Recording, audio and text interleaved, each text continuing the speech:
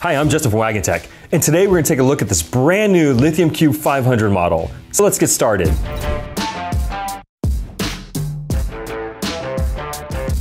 Starting at top, we have an LED light with two modes, solid on or SOS.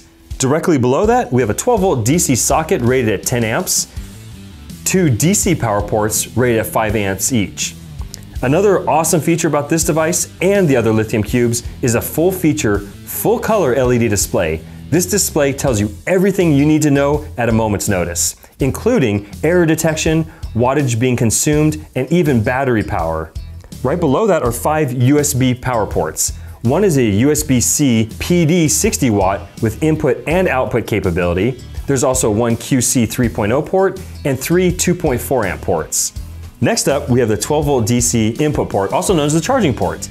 You can recharge this device through the included AC or DC chargers, or you can take a solar panel, a wind turbine, water turbine, or whatever you have in the field to recharge it. Right below that, we have two 120 volt AC outlets. These are the same type of AC outlets that you'd find in the wall of your house. What's more is that it's powered by a pure sine wave inverter, which means that it provides clean electricity for your sensitive devices. Also, another great feature of this device is that it has pass-through charging, which means that you can use and charge the device at the same time. Another great feature about this device is that you can charge it through two different ways at the same time. Let me explain. So let's say you have AC power available, then you'll take the AC charger and you'll plug it into here. If you want to charge even faster, at the same time take a USB-C charger and plug it into the USB-C power port, and it will recharge in even less time.